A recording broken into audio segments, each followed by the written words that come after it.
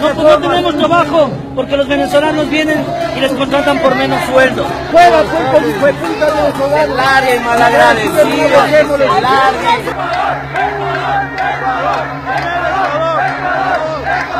Tengo que denunciar en Colombia, en Ecuador, en Perú y en otros países se está desarrollando una campaña de odio, de persecución, de desprecio xenofóbica contra el pueblo de Venezuela. Los venezolanos tenemos dignidad. Y yo le digo a estos venezolanos, en Quito, en Lima, más allá, cuenten conmigo. He ordenado que se active en el plan Vuelta a la Patria un puente aéreo para traer a todos estos venezolanos que se han censado y quieren regresar a su terruño amado, a la tierra que vio nacer Antonio José de Sucre, a Simón Bolívar, a los libertadores de esta tierra.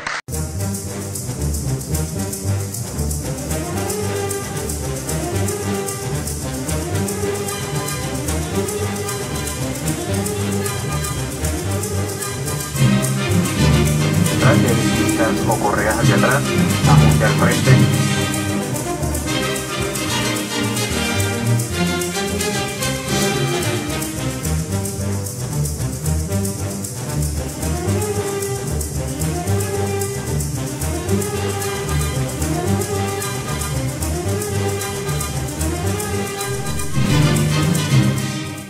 Verdad que este, llevábamos muchas expectativas, pero la realidad fue otra.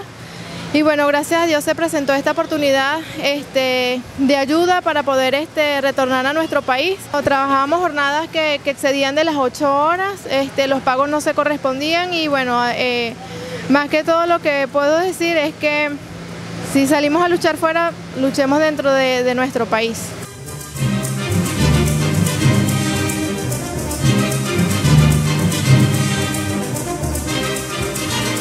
Mi nombre es José Machuca, duramos 10 meses en Ecuador.